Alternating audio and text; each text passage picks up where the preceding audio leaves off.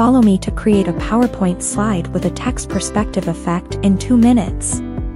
Open a new PowerPoint. Insert a picture of your choice. Stretch the picture to match the background size. Insert a shape by clicking Insert Shapes at the top and choosing Rectangle. Insert a rectangle on the right side of the picture. Right-click and choose Edit Points. Four black dots will appear at the corners of the rectangle.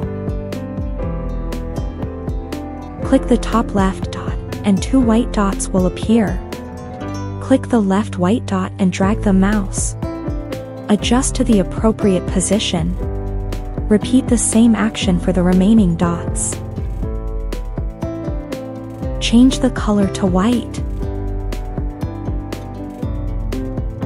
Insert title text, choose the impact font, and set the size to 115. Stretch the text and place it in the center of the background.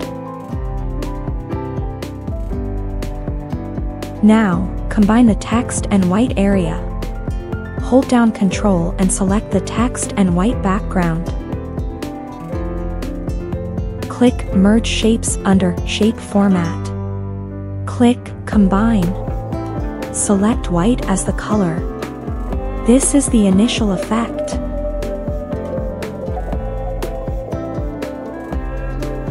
Add some more text and logos as needed.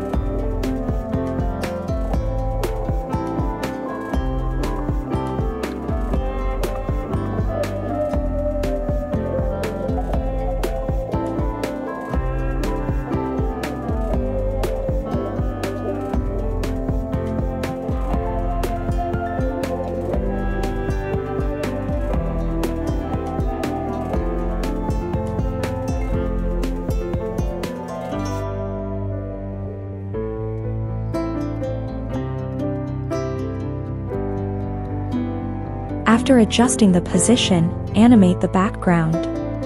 Click the background image, choose Grow slash Shrink under Animation.